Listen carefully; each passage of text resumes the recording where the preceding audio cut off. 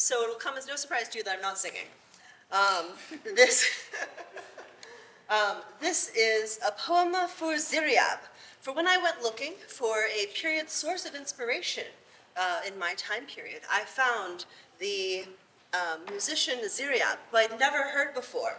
And I found this great eulogy to him, which I think uh, describes him rather aptly, and I hope you find yourselves also um, inspired by Ziryab. Ali ibn Nafi, Ziryab by name, has memorized all 1,000 songs from beginning to end. He has added a fifth string to his lute.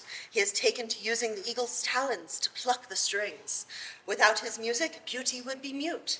The jinn would have nothing to sing. The jinn teach Ziryab music every night. When thus awakened, he calls for his friends, his slaves Ghazalin and Hind arise and take up their lutes, and the three pass the night deep in talk with music and sighs. After which they retire to sleep.